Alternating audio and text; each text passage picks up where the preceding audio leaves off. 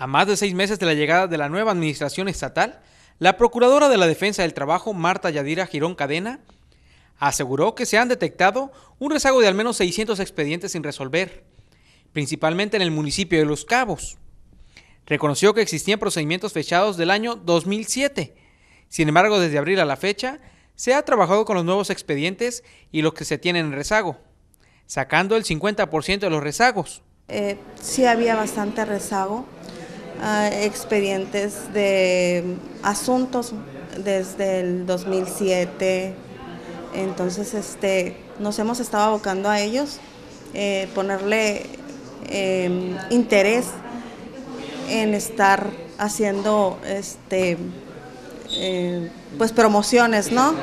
Para, para sacar adelante esos expedientes. Pero sí, sí había bastantes expedientes. Girón Cadena señaló que la Procuraduría de la Defensa del Trabajo se encarga de brindar asesorías a los trabajadores respecto a despidos injustificados.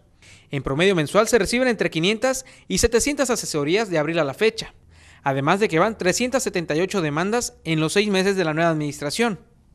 La Procuradora de Asuntos Laborales aseguró que las principales denuncias que se reciben las encabezan las empresas de la construcción, seguridad y tiendas departamentales. Y despidos injustificados, eh, sueldos eh, que no son pagados, ¿sí? por semana o por quincena, dependiendo del pago de, cada trabajador. Este, también tenemos em, las prestaciones como PTU, em, pues aguinaldos, todo eso.